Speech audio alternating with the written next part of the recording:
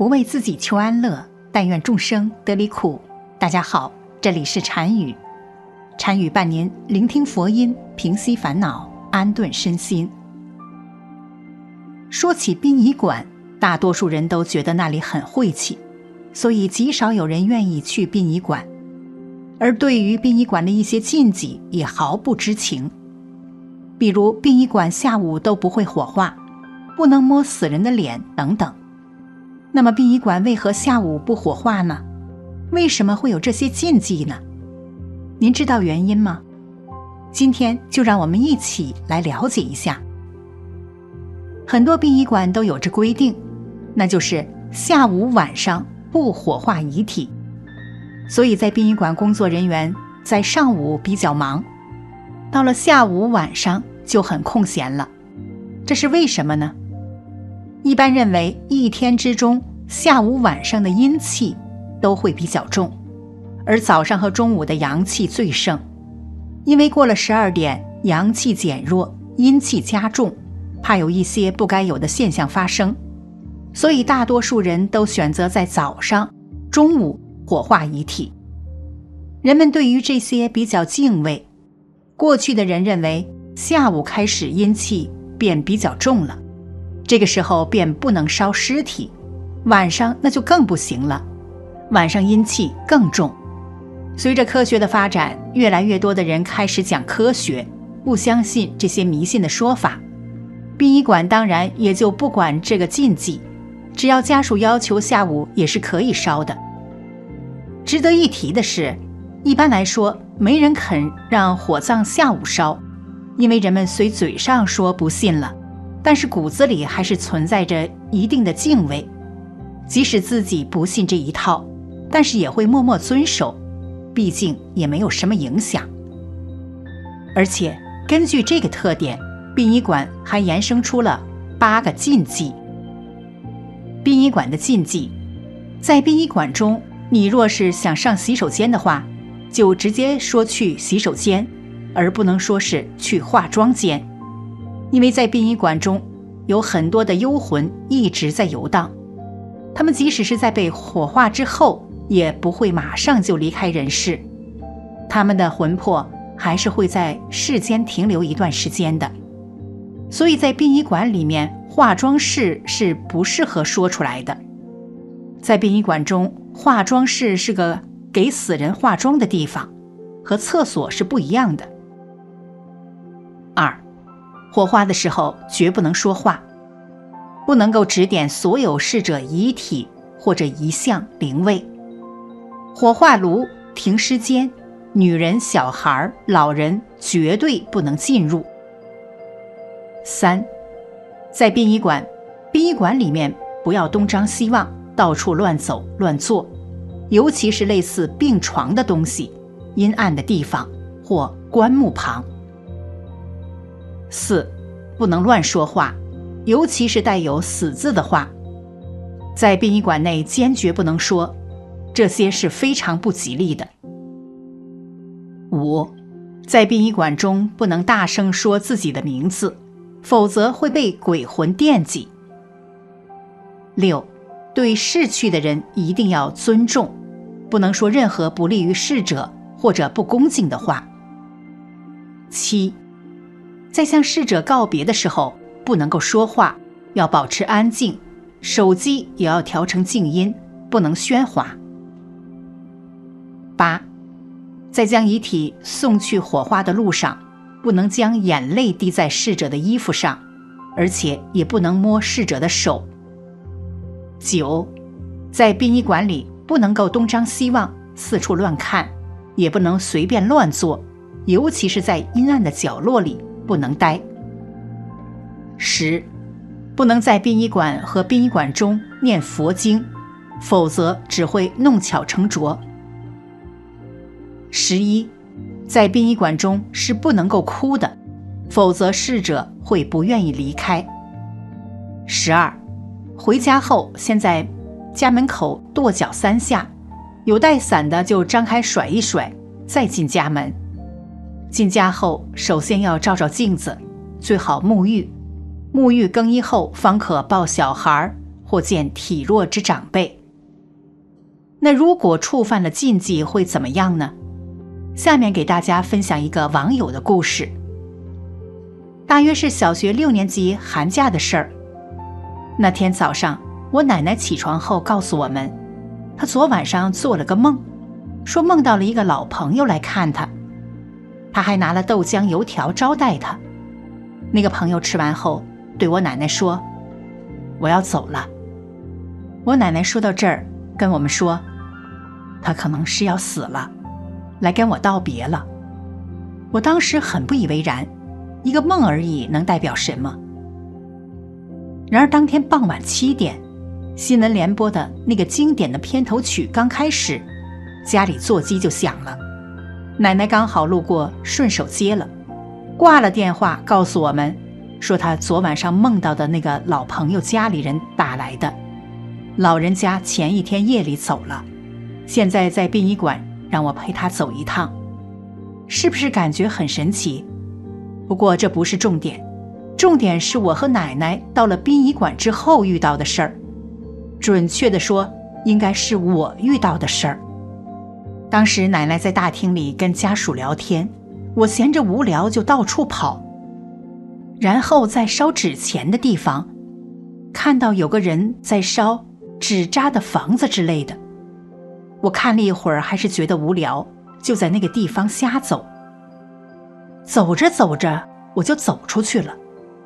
因为年代比较久远的原因，烧过的纸钱灰加上黄泥，把那一片堆成了小山包的样子。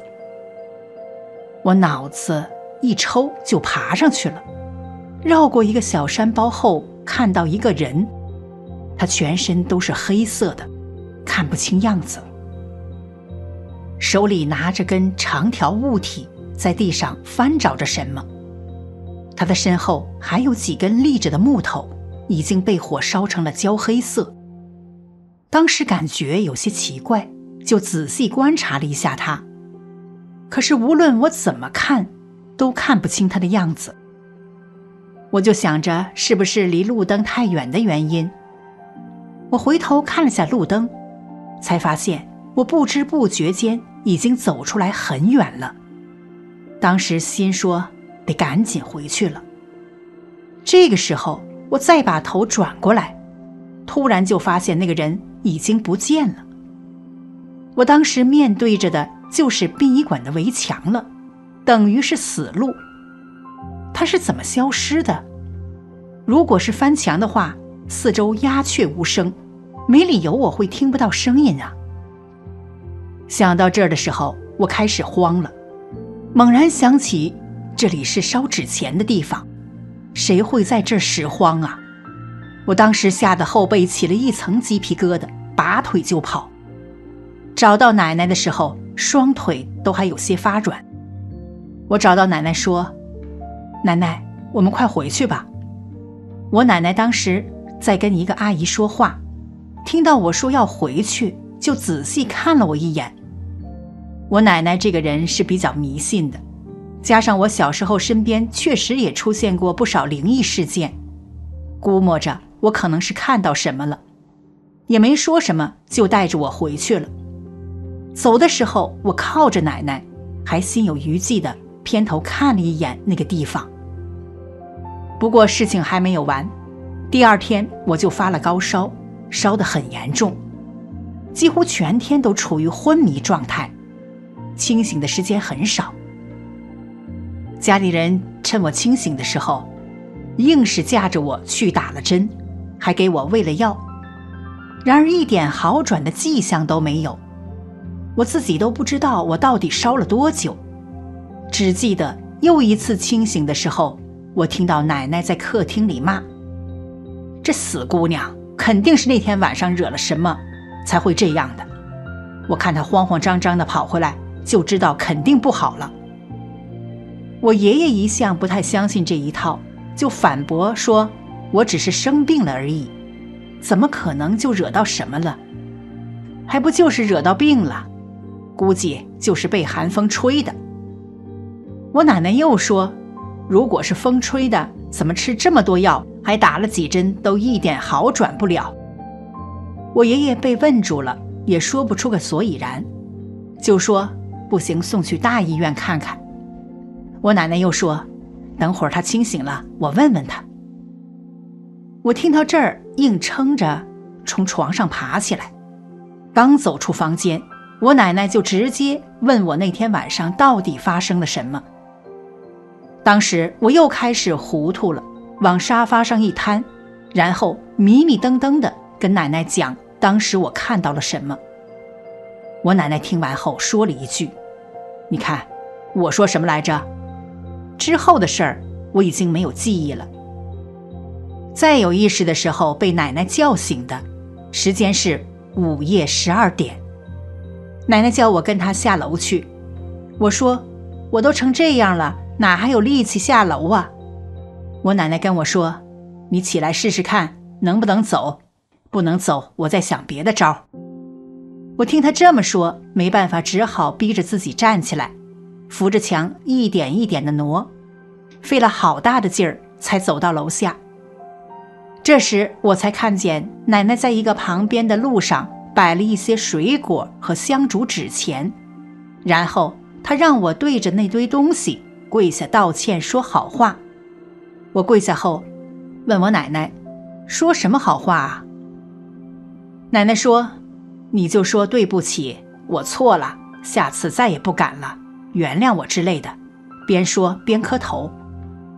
我照办了，一边说，我奶奶一边在旁边烧纸钱。烧完之后，奶奶说可以回去了，还告诉我叫我别回头。我说好，然后和奶奶一起往回走。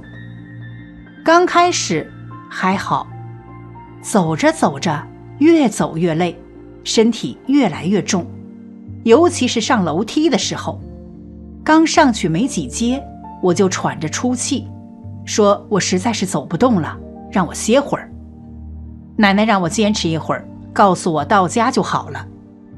走到最后几阶的时候，我说我不行了，感觉像有几十个人拉着我一样。奶奶，你先回去吧，我坐一会儿就爬上去。奶奶不让，依旧让我再坚持一下，并且再次警告我，让我别回头。我一看没办法了，干脆一咬牙，使劲用双手死死拉住扶梯的铁扶手，死命往上挪。好不容易才上去了。当时我还是要靠着墙才能站立。